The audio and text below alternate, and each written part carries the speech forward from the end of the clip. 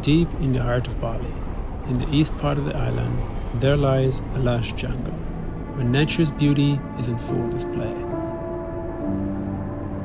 When the right conditions align, as the sun comes up, a special phenomenon occurs that takes this beauty to a whole new level a streak of light.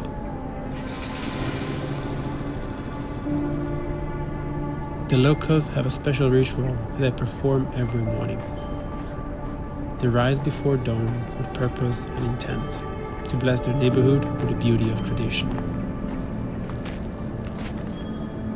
As they gather the offerings, the Canang Sari, they whisper prayers for a new day filled with peace, prosperity, and happiness. The first rays of the sun break through the trees. They create a magical scene the light dances through the branches, illuminating the jungle floor with its warm glow. With baskets in their hand, they venture out into the quiet streets, taking in the cool morning air and the soft light of dawn.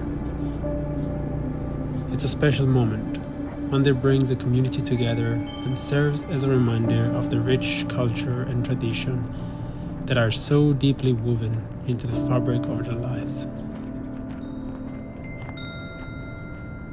The simple act of devotion, a reminder of the beauty and grace that lies within us all.